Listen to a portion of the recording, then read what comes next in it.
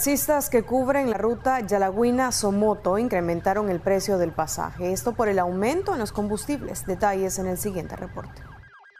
Pobladores que abordan los taxis con ruta La Esperanza y Yalagüina expresaron que ahora se les hará más difícil poder abordar estos vehículos debido a que incrementaron el pasaje, por lo que no tienen otra opción de viajar en los autobuses porque les va más cómodo. Ah, claro, porque a como está el tiempo ahorita, no crea. A veces por lo menos yo, la mayoría de que viajo, viajo lo más en bus porque el bus me gana menos. Y los taxis, o sea, y es más el pasaje. No, ni modo, para no tener problema con ellos, ni modo, uno tiene que pagar lo que ellos dicen. Pero como uno ya sabe que el pasaje está caro, entonces uno mejor viaja en bus.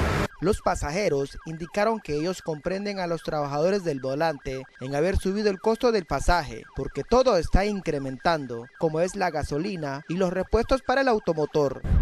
No, y ahí todo está caro, el combustible cada día va más para arriba, todo está carísimo, la canasta básica va para arriba y ya ni modo, ¿para dónde vamos a coger?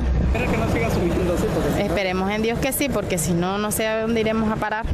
El recorrido que hacen los conductores es desde el municipio de Yalagüina hasta dejar al usuario al lugar conocido como el granero de Somoto. Como medio responsable, intentamos buscar la versión de uno de los taxistas, quienes manifestaron que ellos no podían brindar ninguna información porque no estaban autorizados. Les informó Jagadiel Rivera Cornejo.